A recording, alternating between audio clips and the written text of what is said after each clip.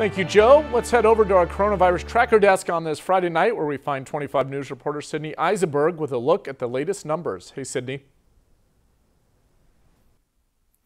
Todd, nearly 600,000 Texans could lose power as a state-run program that would help keep the lights on comes to an end. Now, the electricity relief program would help those who are financially struggling during the pandemic. Since March, it has provided more than $30 million in bill payment assistance. The program is set to go out on October 1st, affecting 595,000 households.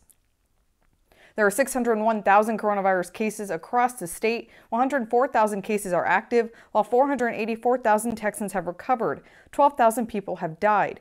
Looking closer to home, McLennan County has 6,100 cases. Bell County officials report 4,662, while the state, which includes Fort Hood in its count, reports 4,747. There are 4,600 COVID 19 cases in Brazos County.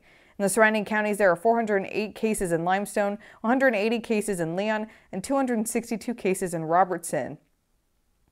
Breaking the numbers down, McLennan County leads the way in active cases with 1,900. 4,100 people have recovered. Bell County has 764 actives and almost 4,000 recoveries. Brazos County has the least amount of active cases with 455. 4,100 people have recovered. Central Texas has seen 866 new cases this week. Bell County added 132 COVID 19 cases, while Brazos reported 223. McLennan County saw the largest increase with 366 since Monday. Live from the Coronavirus Tracker Desk, Sydney Eisenberg, 25 News.